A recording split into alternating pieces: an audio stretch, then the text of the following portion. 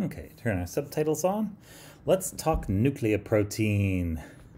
So the spike protein, you know about the spike protein. Here it is out here, and uh, it's color-coded orange, uh, at least on this uh, particular slide. Um, and the spike protein is the outermost layer. And then you've got a kind of a middle layer of the M protein, or uh, some people call it membrane protein, some people call it matrix protein. And then down at the bottom, you have an inner layer of the nucleoprotein. Now, the nucleoprotein's main job is to have RNA wrapped around it. And so you can see this little blue string down here is meant to be the RNA. And the N protein is coiling up into a nice little uh, helical nucleocapsid.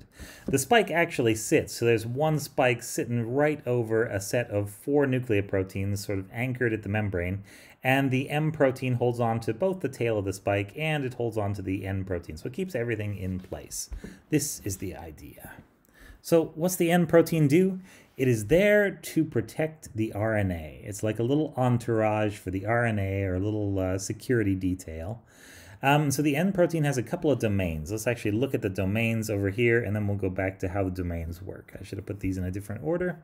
So it's got what we call the N-terminal domain, because it's toward the N-terminus, the front. and we've got the C-terminal domain, which, yeah, it's toward the back. Yeah, neat. Um, and then you get a little uh, bit uh, before the N-terminal domain, a little bit after, and a little bit in the middle. The N-terminal and C-terminal domains are called domains because they fold up into a little brick. Like this is the N-terminal domain, this is the C-terminal domain, and the other parts, this N-arm, C-tail, and linker, are all predicted to be kind of floppy and stick out in um, just different ways.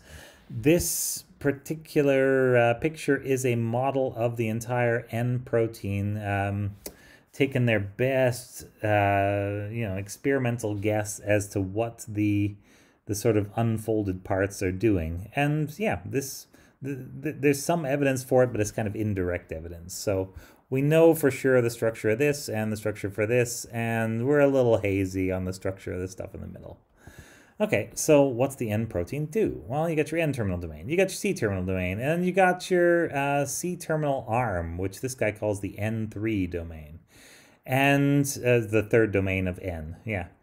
There's a piece of RNA that's found inside the genome of the virus, um, and you can read more about it at this paper if you like and it's called the packaging signal. And so this is a thing that folds up. It's just one piece of RNA, but it folds up like a hairpin, kind of. Um, so with the two sides stuck together by just normal base pairing. So there'll be an A over here, there'll be a U over there because it's RNA, and a C here and a G there, just like that. And so this thing folds up to make a particular shape. So they've shown a, kind of a generic shape here for comparison, but in three dimensions, the shape is probably a little bit cooler, and we don't know exactly what it looks like uh, yet.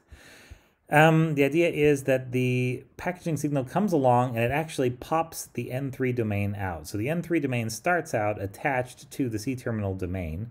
And when uh, packaging signal is there, it actually takes the place of this thing so that the N3 can come out and it can link up to the M protein. And so this would be a way that would make the M protein sort of wait for the nucleoprotein to come along with the genome RNA. Uh, and then there are two other possible ways that it could happen. I think the author doesn't like either of these quite as well, but uh, you could have M protein binding directly to the packaging signal. There's a little bit of evidence that that might happen.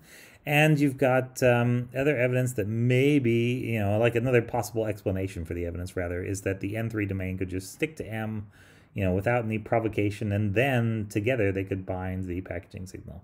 Hey, maybe. I don't know. Um, but uh, you can see the parts that are in common. You've got N3 always in contact with M, we know that for sure. And you've got a packaging signal that's in contact with something, either the C-terminal domain of the nucleoprotein or uh, direct contact with um, M or the N3 domain and M at the same time. So there we go. That's the nucleoprotein. So this is a thing that's going to be inside the cell when it's infected, and it's going to be inside the virus particle when the virus particle is made. It is never going to be on the surface, and so you're never going to be able to stick an antibody to it. But because of the way antibodies are made from just shredded up little bits of protein, you will actually make a really good antibody response against the nucleoprotein. It just won't do you any good whatsoever. um, but uh, yeah, you will have these anti-N antibodies. Um, And the idea is that the antibodies aren't going to help you for sure, but the nucleoprotein is really good for generating T cells. And so T cells might very well help you um, fight the infection. And uh, there are actually some papers from MERS coronavirus where people have gone in and just used the nucleoprotein, even though the antibodies that are made against it are going to be useless, but used it as a way to stimulate T cells to go out and hunt down the virus. And I think that's kind of neat.